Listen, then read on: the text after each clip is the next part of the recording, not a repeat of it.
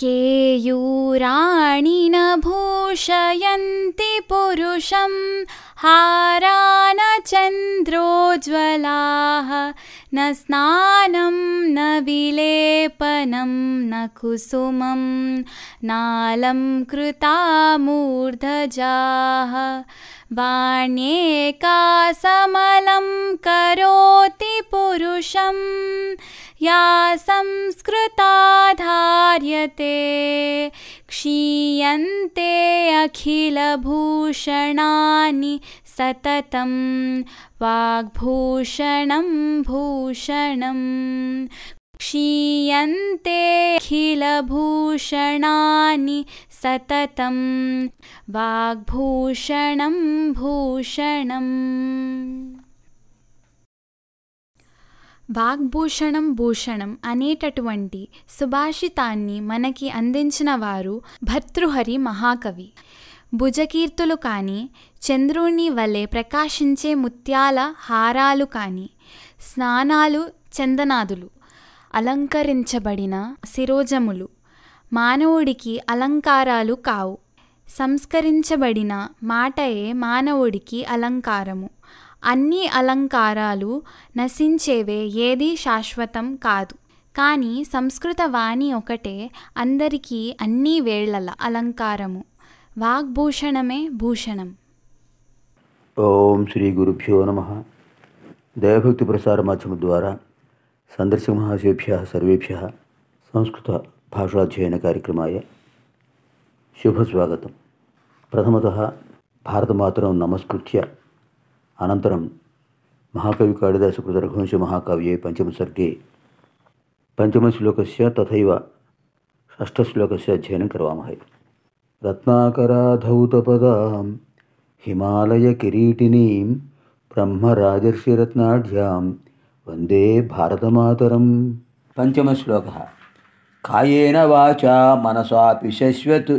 కాయేన వాచా మనసాపి స్వస్ సస్వత్ కాయేన వాచా మనసాపి సస్వత్ యత్సంభృతం వాసవధైర్యలోపి యత్సంభృతం వాసవధైర్యలోపి యత్సం యత్సంభృతం వాసవధైర్యలోపి ఆపాద్యతే నవ్యయమంతరాయై ఆపాద్యతే నవ్యయమంతరాయైః ఆపాద్యతే నవ్యయమంతరాయైః కచ్చిన్మహర్షే స్త్రివిధం తపస్తత్ కశ్చిన్మహర్షేత్స్త్రివిధం తపస్తత్ కశ్చిన్మహర్షేస్త్రివిధం తప్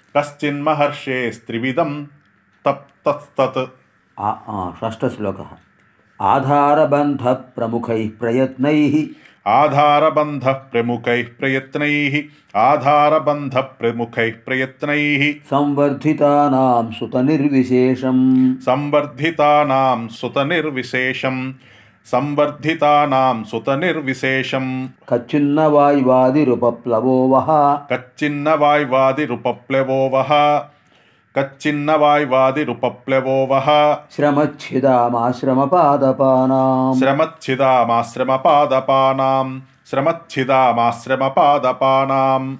ఇదానీం పంచమశ్లోకः. కాయేన వాచ మనసాపి శశ్వత్ యత్సంభృతం వాసవధైర్యలోపి. ఆపాద్యతేన కచ్చిన్మహర్షే కచ్చిన్మహర్షేస్త్రివిధం తపస్తు కాయేన వాచ మనసాపి శశ్వత్. యత్సంభృతం వాసవధైర్యలోపి. ఆపాద్యతేన కచ్చిన్మహర్షే కచ్చిన్మహర్షేస్త్రివిధం తపస్తత్. మహర్షుల యొక్క తపస్సు. త్రికరణ శుద్ధిగా ఆటంకం లేకుండా జరుగుతుంది కదా. అనే విశేషమైన కుశల ప్రశ్నను రఘుమహారాజు అడుగుతున్నాడు కౌసమహర్షిని ఆయన కౌసమహర్షి ఆశ్రమం నుంచి వచ్చాడు కనుక ఆశ్రమ వాతావరణాన్ని మనకు కళ్ళ కట్టినట్టుగా కనిపిస్తున్నాడు మహాకవి కాళిదాసు అద్భుతంగా ఇంతకుముందు వశిష్ఠాశ్రమాన్ని గురించి వివరించి వర్ణించారు కదా ప్రథమ ప్రథమ సర్గలో.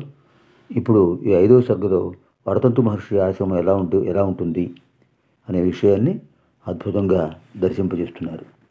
కాయేన వాచయా మనసాపి శశ్వత్ యత్ సంభృతం వాసవధైర్యలోపి. ఆపాద్యతే న వ్యయమంతరాయై కచ్చిన్మహర్షే త్రివిధం తపస్తత్. అద్భుతమైన ఛందస్సు. ఈ ఛందస్సు గురించి మనం ఇంతకుముందు అనుకున్నాం. మళ్ళీ ఒకసారి జ్ఞాపకం చేసుకుందాం. ఎంత అద్భుతమైన ఛందస్సు అండి. ఇది. స్యాదింద్రవజ్ర యది తౌ జగౌగ ఉపేంద్రవజ్ర జతజాస్తతో గౌ.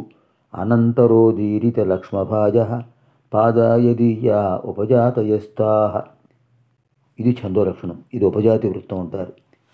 ఈ ఉపజాతిలో మొదటి రెండు పాదాలు ఇంద్రవజ్ర తర్వాత రెండు పాదాలు ఉపేంద్ర వజ్ర అదే చెప్పారు లక్షణంలో। స్యాదింద్ర ఎది తౌ జగౌగ తౌ రెండు తగణాలు। జగౌ జగను గురువు గహ మళ్ళీ గురువు। ఇది ఇంద్రవజ్ర గణాలు. ఉపేంద్ర వజ్రలు ఎలా ఉంటాయి? ఉపేంద్ర వజ్ర జతజాస్తతో గౌ. జగణం తగణం జగణం తర్వాత రెండు గురువులు. ఇది ఉపేంద్ర వజ్ర ఇప్పుడు ఇంద్రవజ్ర ఉపేంద్ర వజ్ర రెండు ఛందస్సుల గణాలతో మొత్తం నాలుగు పదాలు కనిపిస్తాయి. మొదటి రెండు పాదాలు ఇంద్రవజ్ర. అంటే రెండు తగణాలు ఒక జగణం రెండు గురువులు ఒక గురువు. తర్వాత మూడు నాలుగు పదాలు ఉపేంద్ర వజ్ర జగణం తగణం జగణం తర్వాత రెండు గురువులు. ఇది ఉపజాతి ఛందస్సులో విశేషమైన లక్షణం. మనకు చాలా శ్లోకాలు అనేక కావ్యాల్లో ఉపజాతి ఛందస్సు అనిపిస్తుంటుంది. రామాయణంలో సుందరకాండలో అద్భుతంగా ఉపజాతి వృత్తాలను ప్రయోగించాడు మహాకవి వాల్మీకి ఆదికవి వాల్మీకి.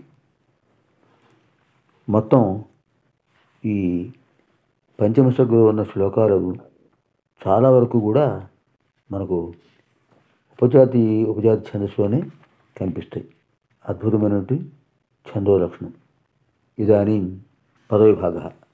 కాయేన ప్రథమం వాచా ద్వితీయం మనసా తృతీయం అపి చతుర్థం శశ్వత్ షష్ఠం పంచమం యత్ షష్ఠం సంహృతం సప్తమం వాసవధైర్యలోపి అష్టమం ఆపాద్యతే నవమం నా దశమం వ్యయం ఏకాదశం అంతరాయై ద్వాదశం కచ్చిత్ త్రయోదశం మహర్షే చతుర్దశం త్రివిధం పంచదశం తప షోడశం తత్ సప్తదశం. సప్తదశపది అయం శ్లోక. పునఃపరిగణయామ. కాయేన ప్రథమం వాచా ద్వితీయం మనసా తృతీయం అపి చతుర్థం శశ్వత్ పంచమం యత్ షష్ఠం సంభృతం సప్తమం వాసవధైర్యలోపి అష్టమం ఆపాద్యతే నవమం నా దశమం వ్యయం ఏకాదశం అంతరాయై ద్వాదశం కచ్చిత్ త్రయోదశం మహర్షే చతుర్దశం త్రివిధం పంచదశం తప షోడశం తత్ సప్తదశం సప్తదశపది అయం శ్లోక అన్వయక్రమ కాయేన వాచ మనసా అపి వాసవధైర్యలోపి యత్ శశ్వత్ సంభృతం మహర్షే త్రివిధం తత్ తప అంతరాయై వ్యయం నాపాద్యతే కచ్చిత్ భగవద్గీత పదిహేడో అధ్యాయం సిద్ధార్థయ విభాగయోగం చాలా విశేషమైంది. భగవద్గీత పదిహేడో అధ్యాయం శ్రద్ధాత్రయ విభాగయోగంలో ఆహారం తర్వాత తపస్సు దానము యజ్ఞము ఈ నాలుగు కూడా త్రివిధములుగా ఉంటాయని చెప్తారు అక్కడ. సత్వగుణాత్మకము రజోగుణాత్మకము తమోగుణాత్మకములు. అందులో సాత్వికమైన తపస్సు ఎలా ఉంటుందో అద్భుతంగా వివరించాడు పరమాత్మ.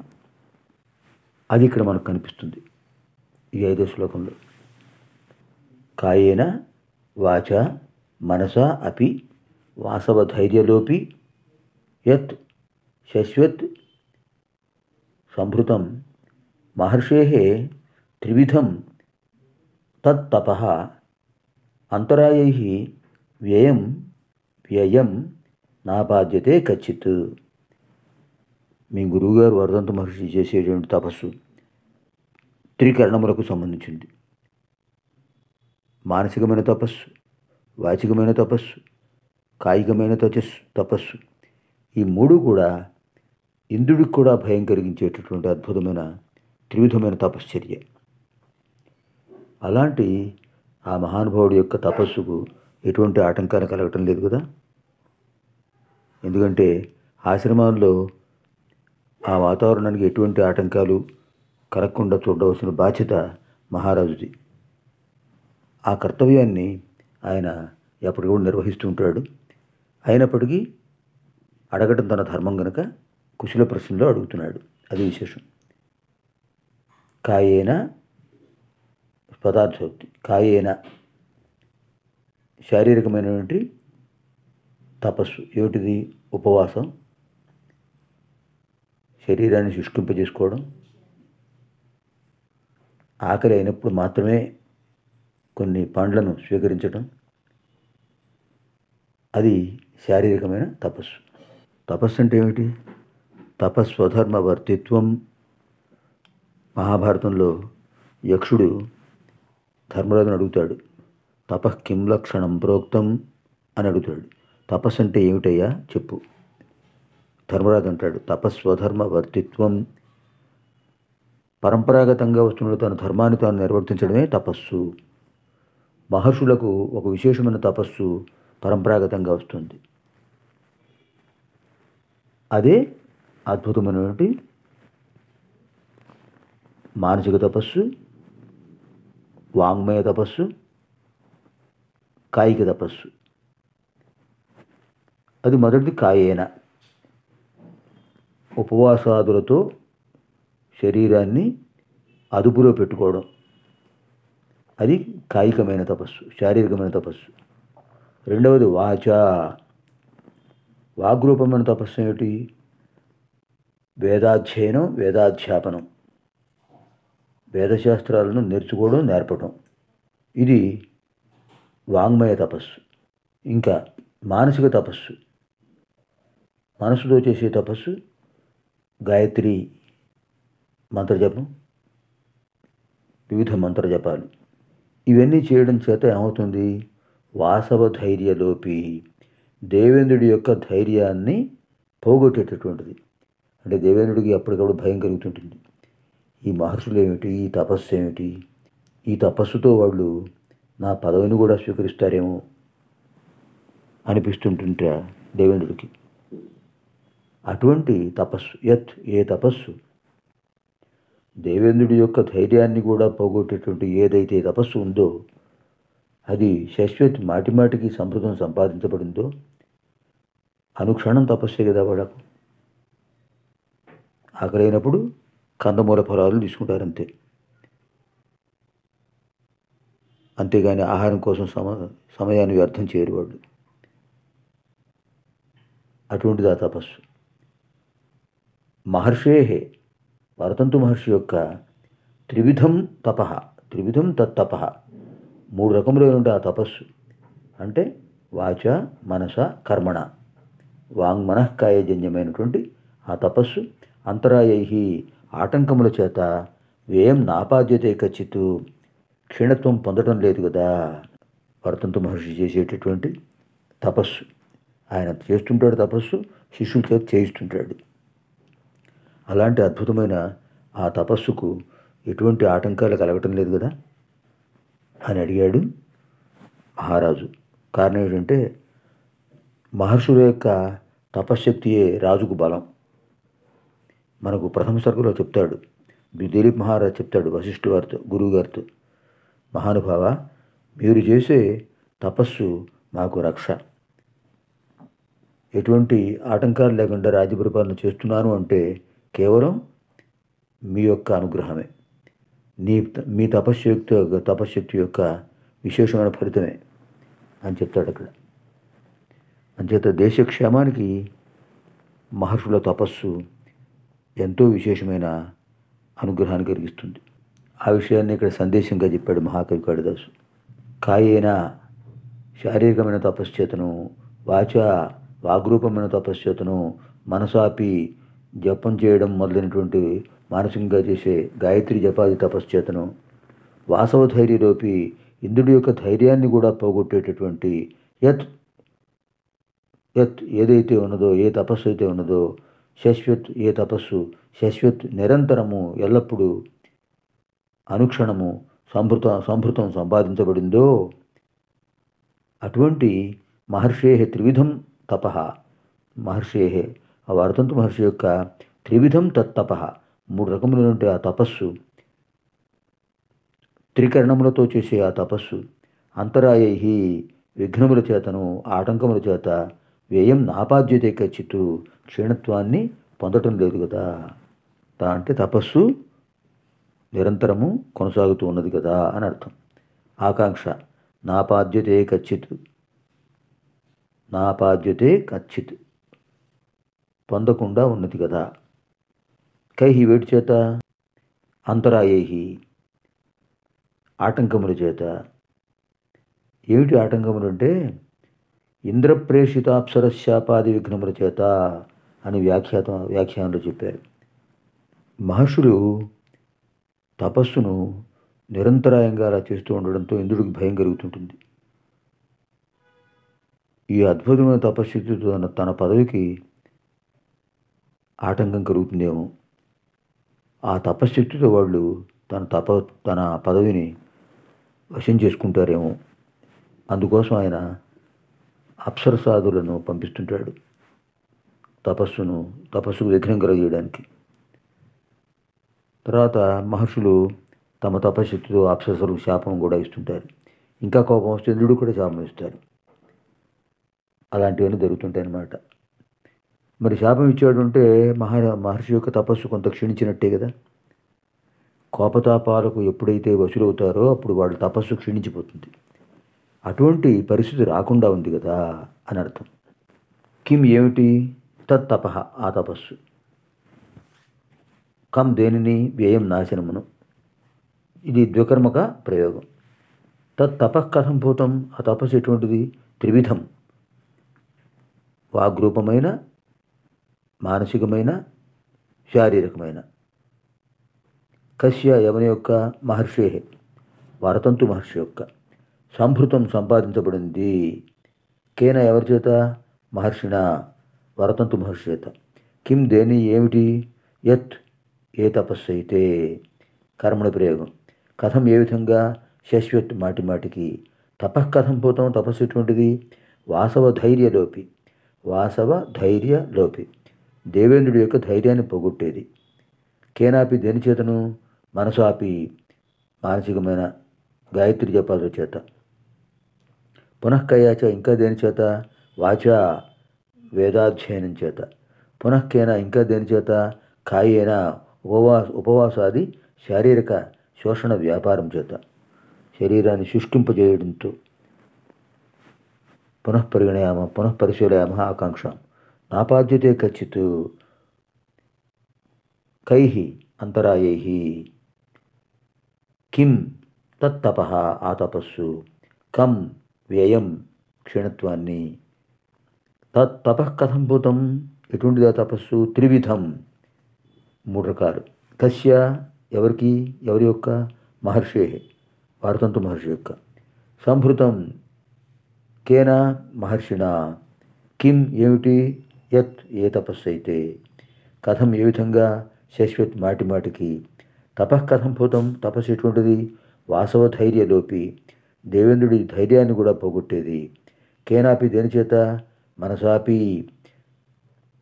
మానసికమైన జపం చేత. పునఃకయాచ ఇంకా దేని చేత? వాచ. వేద పఠనం చేత వేదాధ్యయనం చేత వేదాధ్యాపనం చేత. పునఃకేన ఇంకా దేని చేత? కాయేన ఉపవాసాది శారీరక తపస్సు చేత శబ్దరూప సమాసా కాయేన కాయాభ్యాం కాయై కాయశబ్ద అకారాంతపునగా తృతీయకవచనాంత వాచ వాగ్భ్యాం వాగ్భి వాక్శబ్ద చకారాంతస్తులింగా తృతీయకవచనాంత మనసా మనోభ్యాం మనోభి మనశ్శబ్ద సకారాంత నపుంసలింగ తృతీయకవచనాంత అపి అవ్యయం కూడా శశ్వత్ అవ్యయం ఎల్లప్పుడూ యత్ ఏ యత్ ఏ యాని యశబ్ద దకారాంత నపుంసకలింగ ప్రథమైకవచనాంత. సంభృతం సంభృతే సంభృతాని. సంభృత శబ్ద అకారాంత నపుంసకలింగ ప్రథమైకవచనాంత. వాసవధైర్యలోపి ధైర్యస్వభావ ధైర్యం. వాసవచ్చ ధైర్యం వాసవధైర్యం తద్లోపి. తద్లుంపతీతి లోపి. వాసవధైర్యలోపి వాసవధైర్యలోపిని వాసవధైర్యలోపీని. వాసవధైర్యలోపిని శబ్ద నకారాంత నపుంసకంగా ప్రథమైకవచనంత.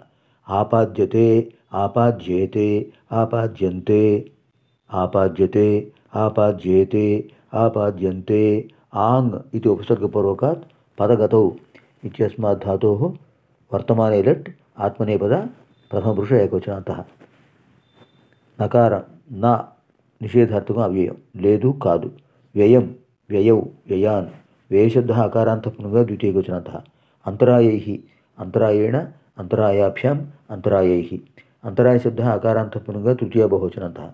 కచ్చిత్ అవ్యయం. మహర్షే మహాంశ్చ అసౌ ఋషిశ్చ మహర్షి. తస్య మహర్షే గొప్ప గొప్పవాడైన ఋషి.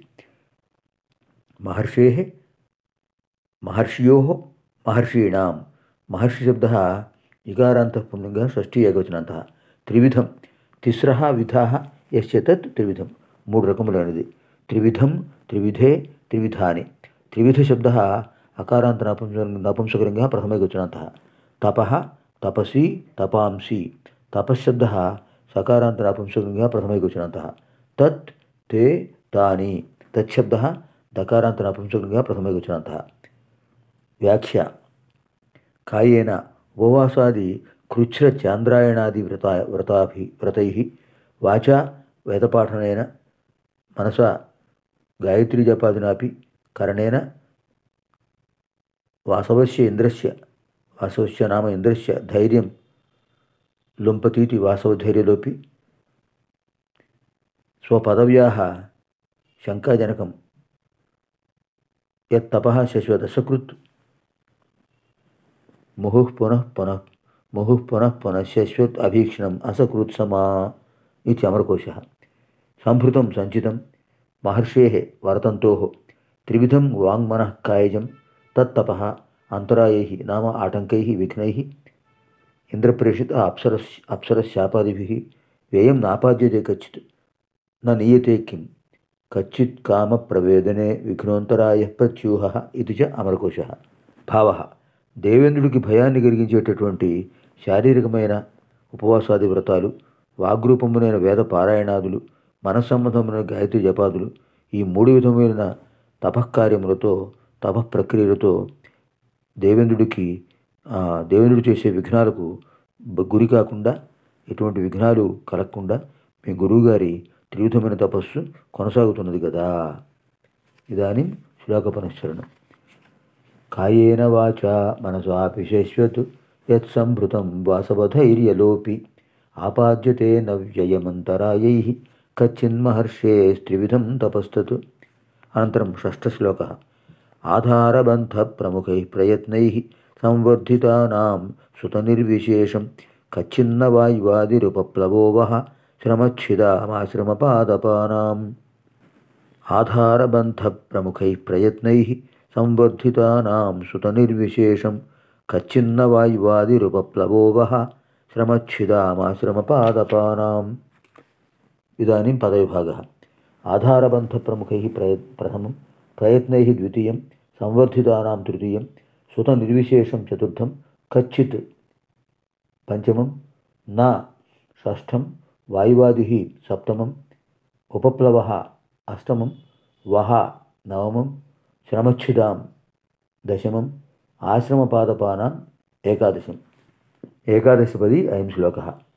పునః పరిగణయామः ఆధారబంధప్రముఖైः ప్రథమం ప్రయత్నైः ద్వితీయం సంవర్ధితానాం తృతీయం సుతనిర్విశేషం చతుర్థం కచ్చిత్ పంచమం నా షష్ఠం వాయువాదిः సప్తమం ఉపప్లవः అష్టమం వహ నవమం శ్రమచ్ఛిదాం దశమం ఆశ్రమపాదపానాం ఏకాదశం. ఏకాదశపది అయం శ్లోకः. అన్వ అన్వయక్రమः ఆధారబంధప్రముఖైः సుతనిర్విశ్ ప్రయత్నైः ప్రయత్నై ప్రయత్నైः. సుతనిర్విశేషం సంవర్ధితానాం శ్రమచ్ఛిదాం ఆశ్రమపాదపానాం వాయువాదిరుపప్లవ న కచ్చిత్. ఇది రెండవ కుశల ప్రశ్న. మొదటి కుశల కుశల ప్రశ్నలో తపస్సు కొనసాగుతూ ఉన్నది కదా. ఆటంకాలు కలగటం లేదు కదా. రెండవది ఆశ్రమ వాతావరణంలో వృక్ష విశేషాలు. వృక్షో రక్షతు రక్షిత. మనం ఒక చిన్న మొక్కను నాటి దాన్ని జాగ్రత్తగా ఎటువంటి ఆటంకాలు రాకుండా అభివృద్ధి చేసి పెంచినట్లయితే అద్భుతంగా పెరిగినటువంటి మహావృక్షమై అది మనకు రక్షణనిస్తుంది ఆహారాన్ని ఇస్తుంది అద్భుతమైన ప్రాణవాయువునిస్తుంది నీడనిస్తుంది బహుళ ప్రయోజనాన్ని కలిగిస్తుంది. అలాంటి వృక్ష విశేషాలు అక్కడ ఎటువంటి ఆటంకాలు లేకుండా ఉన్నాయి కదా? ఎంత గొప్ప కుశల ప్రశ్న అండిది ఆధారబంధ ప్రముఖై ప్రయత్నై సుత నిర్విశేషం సంవర్ధితానాం శ్రమచ్ఛిదాం వహ ఆశ్రమపాదపానాం వాయువాదిరుపప్లవ న కచ్చిత్ పదార్థోక్తి ఆధారబంధ ప్రముఖై ఆధారం అంటే ఏమిటి? ఆలవాలం పాదులు. చిన్న మొక్కను నాటినప్పుడు దానికి చుట్టూ బోధ చేసి నీళ్ళు నిరంతరాయంగా ఉండేటట్టుగా దాన్ని జాగ్రత్తగా చుట్టూ కంచె వేసి రక్షిస్తారు. అది ఆధారబంధ ప్రముఖ ప్రముఖ అంటే పాదు చేయటం చుట్టూ కంచె కట్టడం ఇలాంటివి ఇలాంటి ప్రయత్నమే ప్రయత్నముల చేత. ఇలాంటి ప్రయత్నాలు చేస్తుంటారు మహర్షులు. ప్రతి మొక్కను కూడా ఎంత బాగా పెంచుతారంటే సుత నిర్విశేషం ఎంత అద్భుతమైన పదం ఉంటుంది సుత నిర్విశేషం తల్లిదండ్రులు తమ సంతానాన్ని ఎంత జాగ్రత్తగా రక్షిస్తారో అలా రక్షిస్తారట. అంచేతనే వృక్ష సంతానం అంటారు. వృక్ష సంతానం. వృక్షాలు కూడా సంతానం లాగానే వాళ్ళు అద్భుతంగా చూస్తారు ఆశ్రమవాసులు. అందుకని ఆశ్రమం చాలా ప్రశాంతంగా ఉంటుంది. ఎటువంటి కల్మషమే ఉండదు. ఎటువంటి ఎటువంటి కాలుష్యం ఉండదు. శబ్ద కాలుష్యం ఉండదు. వాయు కాలుష్యం ఉండదు. మరి ఇతరమైనటువంటి జల కాలుష్యం ఉండదు. అంతా స్వచ్ఛమైనటువంటి వాతావరణం పవిత్రమైన వాతావరణం. ఆ విధంగా సుత నిర్విశేషం పుత్రులతో సమానంగా ఇంకా పుత్రుల కంటే ఎక్కువగా సమర్థితానం పెంచబడినటువంటి శ్రమచ్ఛిదాం శ్రమను పోగొట్టేటటువంటి అంతే కదా? ఆ చల్లటి చెట్టు నీడలో కూర్చుంటే ఎంత శ్రమైనా ఎంత శ్రమ చేసినా ఎంత కష్టపడినా కష్టం అంతా తొలగిపోతుంది. స్వచ్ఛమైన ప్రాణవాయువుని ఇస్తుంది మహావృక్షం. పండ్లనిస్తుంది పుష్పాలనిస్తుంది నీడనిస్తుంది బహుళార్థ సాధకం. అటువంటి వహ మీ యొక్క ఆశ్రమ పాదపానం ఆశ్రమంలో ఉండే చెట్ల యొక్క చెట్లకు వృక్షాలకు వాయువాది ఉపప్లవ. వాయువు మొదలైన ఉపద్రవాలు ఒక్కోసారి తుఫాన్లు వస్తుంటాయి భయంకరంగా గాలులు వస్తుంటాయి అంత ఉపప్లవాలు ఎప్పుడైతే వస్తాయో అప్పుడు పెద్ద పెద్ద మహావృక్షాలు కూడా కుక్కటి వేళ్ళతో తొలగిపోతుంటాయి పడిపోతుంటాయి కూలిపోతుంటాయి అటువంటి ప్రమాదం లేదు కదా. ఉపద్రవ నకచ్చితు లేకుండా ఉంది కదా. ఎందుకంటే ప్రాకృతికమైన ఉపద్రవాలను ఎవరేం చేయగలరు? వాటిని ఆపగలమా మనం? అది విశేషం. పునఃపరిశీలయామ ఆధారబంధ ప్రముఖై పాదులు చేయడం రక్షణ కట్టడం కంచెలు కట్టడం మొదలైన ప్రయత్నాలతో ప్రముఖై ప్రయత్నై ప్రముఖై మొదలైనటువంటి ప్రయత్న ప్రయత్నముల చేత సుత నిర్విశేషం యథాతథ పుత్రుల కంటే విశేషంగా సమర్థుదానం పెంచబడినటువంటి శ్రమచ్యుదాం కష్టాన్ని పోగొట్టేటటువంటి శ్రమను అలసటను పోగొట్టేటటువంటి వహ మీ యొక్క ఆశ్రమ పాదపానాం ఆశ్రమాల్లో ఉండే వృక్షాలకు వాయువాది రూపప్లవ. గాలిపాటు వల్ల లేదా అధికమైన వర్షాలు అతి వర్ష అత్య బాగా వర్షాలు వస్తుంటాయి ఒక్కోసారి. కుంభవృష్టి అలాంటి వాటి వల్ల ఉపద్రవ ఉపప్లవ అంటే ఉపద్రవము కష్టము నష్టము నకచ్చిత్ లేదు కదా ఆకాంక్ష నకచ్చిత్ లేదు కదా కహ ఏమిటి? ఉపప్లవ ప్రమాదము ఉపద్రవము కష్టము నష్టము అకర్మ అకర్మ ప్రయోగ అకర్మక ప్రయోగ. ఉపప్లవ కథం ఎటువంటిది వాయువాది వాయువు మొదలైన వాయువు మాత్రమే కాదు ఆది చెప్ప ఆది శబ్దం చేత జలము ఇంకా ఉల్కాపాతము కుంభవృష్టి అతివృష్టి అనావృష్టి ఇలాంటివి ఎన్నో కారణాలు. అంచేత ఆది పదం చేత అవన్నీ వస్తాయి. వాయువాది వాయువు మొదలైనటువంటి కారణములుగా కలిగినటువంటి అది అటు ఉపద్రవం. పంచభూతాలకు సంబంధించిన ఉపద్రవాలకు వస్తుంటాయి కేశాం వేటికి ఆశ్రమ పాదపానాం ఆశ్రమంలో వృక్షాలకు ఒక్కోసారి అగ్నిభయం కూడా వస్తుంటుంది. ఆశ్రమంలోని వృక్షాలకు. కేశాం వేటి యొక్క ఎవరి యొక్క? వహా మీ యొక్క. ఆశ్రమ పాదపానం కథం పూతానం ఎటువంటివి అవి ఆ ఆశ్రమంలో వృక్షాలు ఎటువంటివి అంటే శ్రమచ్యుదాన్ శ్రమను పోగొడతాయి కష్టాన్ని పోగొడతాయి దుఃఖాన్ని పోగొడతాయి విచారాన్ని పోగొడతాయి మనశ్శాంతినిస్తాయి పునఃకథం పోతానం ఇంకేటువంటివి? సంవర్ధితానం బాగా పెంచబడినటువంటివి. సమ్యక్ వర్ధితానం సమ్యక్ బావుగా వర్ధితానం పెంచబడినవి. కథం భూతం యథాతథ ఎంత బాగా చేస్తున్నారు అంటే సుత నిర్విశేషం యథాతథ పుత్రుల కంటే విశేషంగా. కై వేటి చేత ప్రయత్నై ప్రయత్నముల చేత ఉపాయముల చేత కథంభూత ఎటువంటివి అవి ఆధారబంధ ప్రముఖై పాదులు కట్టడం కంచె కట్టడం మొదలైనటువంటి ప్రయత్నములు కలిగినవి. అద్భుతమైనటువంటి శ్లోకం. అగ్నిభయాలు వాయుభయాలు జలభయాలు అలాగే ఆకాశం నుంచి వచ్చేటువంటి ఉల్కాపాతాలు అలాగే భూ భూమి నుంచి వచ్చే భూకంపాలు ఇవన్నీ రకరకాల ప్రమాదాలు జరుగుతుంటాయి. చూస్తుంటాం కదా. కానీ అవి వాటిని రాకుండా ఎవరు రక్షించేదంటే వాడు తపస్సే. ఆ మహర్షుల యొక్క దివ్యమైన తపస్సే ఎటువంటి ఆటంకాలు లేకుండా రక్షిస్తుంది. అదే రఘుమహారాజు అడిగిన కుశల ప్రశ్నలో కుశల ప్రశ్నలో అంతరా ఆంతర్యం అంతరార్థం. మహర్షుల యొక్క దివ్యమైన తపశ్శక్తి వల్ల వృక్షాలకు ఎటువంటి ఆటంకం కలగటం లేదు కదా. అది విశేషం. పునః పరిశీలయామ ఆకాంక్షాం. న కచ్చిత్ కహ ఉపద్ర ఉపప్లవ. కథం పుత వాయువాది. కేషాం ఆశ్రమ పాదపానాం. పాదప అనే దానికి వ్యుత్పత్తి మనం జాగ్రత్తగా అర్థం చేసుకుంటే ఇంకా వివరం తెలుస్తుంది. పాదై పిబ్బతీతి పాదపహ. పాదములతో నిడుదవుతుంది. పాదములు అంటే వేళ్ళు. వేడతో నిడుదవుతుంది. కేశాం ఎవరి యొక్క? వహామి యొక్క. ఆశ్రమపాద పాదపానం కథం భూతానాం.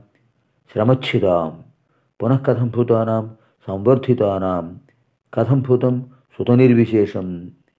కై ప్రయత్నై కథం భూతై ఆధారబంధ ప్రముఖై శబ్దరూప సమాసా. ప్రముఖై ఆధారాణం బంధ ఆధారబంధ తత్ప్రముఖా ఏషాం తే తై ఆధారబంధ ప్రముఖేన ఆధారబంధ ప్రముఖాభ్యాం ఆధారబంధ ప్రముఖై ఆధారబంధ ప్రముఖ శబ్ద అకారాంతపునుగా తృతీయ బహుజనంత ప్రయత్నై ప్రయత్నేన ప్రయత్నాభ్యాం ప్రయత్నై ప్రయత్నశబ్ద అకారాంతపునుగ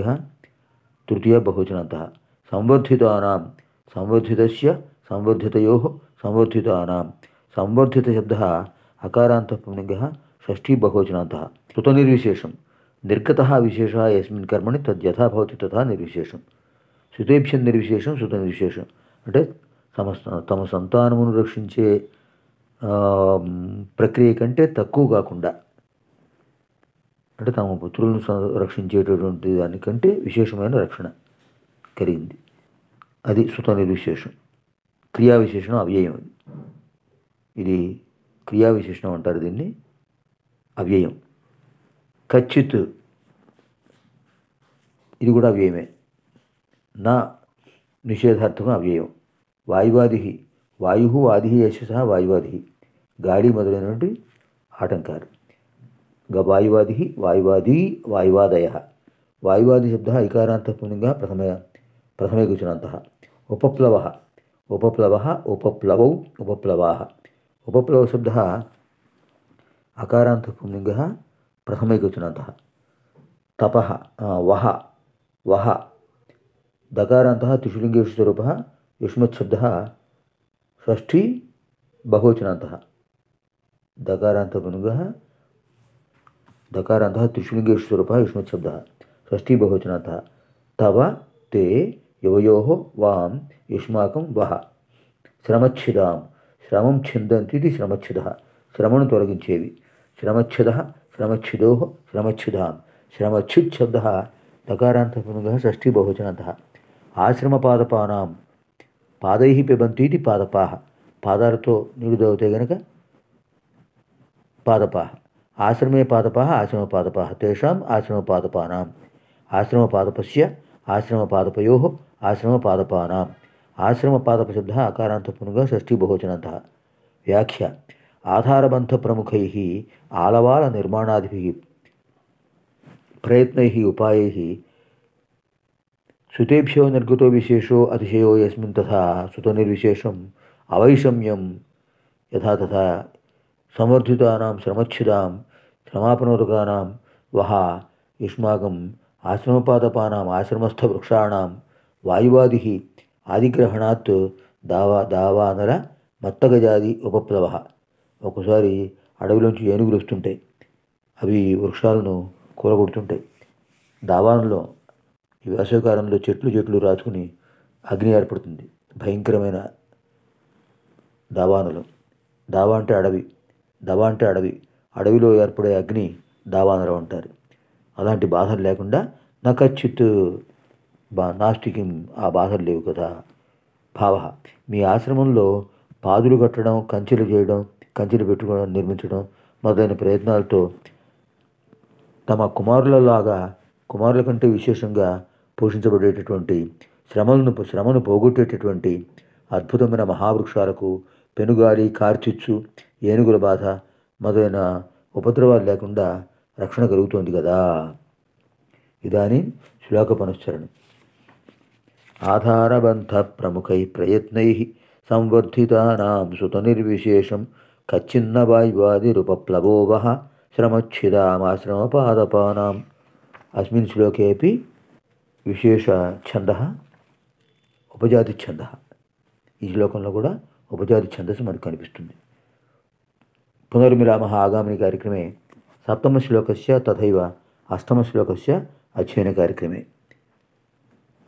సర్వేభ్య వ్యాసవాల్మీకి కాళిదాసాదీనాం దివ్యానుగ్రహప్రాప్తిరస్తు శుభం భవతు స్వస్తి धन्वन्तरिक्षपणकामरसिंहशङ्कु भेताळभट्टघटकर्परकाळिदासाः ख्यातो वराहमिहिरो नृपतेः सभायाम् रत्नानि वै वररुचेर्नवविक्रमस्य बल्लालसेन कविविरचित भोजप्रबन्धात् స్వీకృత అయం శ్లోకం.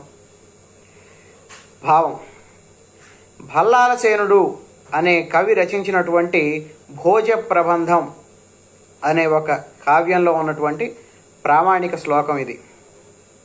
ఈ శ్లోకం ఆధారంగా మనం విక్రమార్కుడి యొక్క ఆస్థానంలో నవరత్నాలు అనే పేరుతో తొమ్మిది మంది కవులు ఉండేవారని వారిలో కాళిదాస్ మహాకవి ఒకరు అని మనం తెలుసుకోవచ్చు. ఆ నవరత్నాలు అనే తొమ్మిది మంది కవులలో ఎవరెవరంటే వాడంతా? ధన్వంతరి క్షపణకుడు అమరసింహుడు శంకుభట్టు భేతాళభట్టుడు ఘటకర్పరుడు కాళిదాసు వరాహమిహిరుడు వరరుచి. ఈ తొమ్మిది మందిని మనం నవరత్నాలు అనే పేరుతో అంటుంటాం. విక్రమార్కుడి యొక్క ఆస్థానంలో ఉండేటువంటి మహాకవులు. ఇందులో నవరత్నాల్లో కాళిదాస్ మహాకవి ఒక ప్రసిద్ధమైనటువంటి కవి. అటువంటి కాళిదాస్ మహాకవి రచించినటువంటి ఈ రఘువంశ మహాకావ్యాన్ని మనం అధ్యయనం చేయటం మనందరి యొక్క అదృష్టం విశేషమైనటువంటి పుణ్యఫలం.